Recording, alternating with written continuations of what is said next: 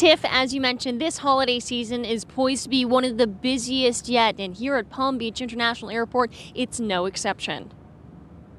Palm Beach International Airport on a Monday. When I got there, it was early, so it wasn't no problems. This could be the calm before the crazy. I just sat in Newark for 15 hours. Like literally, I was in Newark for 15 hours waiting for my flight to connect. TSA says nearly 30 million passengers will fly on U.S. airlines over Thanksgiving.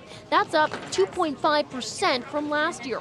Air travel is up by double that national bump here at PBIA. Airport officials expect that nearly 170,000 people will pass through the terminals here in West Palm Beach. I am so happy to be in West Palm now. Uh, is this your final destination?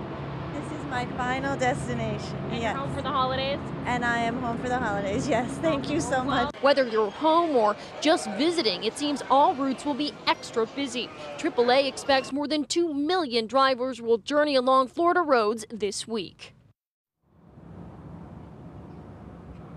Now, the president elect will also be traveling down here to the Palm Beaches this week, but will his holiday plans affect your travel? I'll have more on that coming up in just 30 minutes. For now, we're live here in West Palm Beach, Whitney Burbank, WPBF 25 News.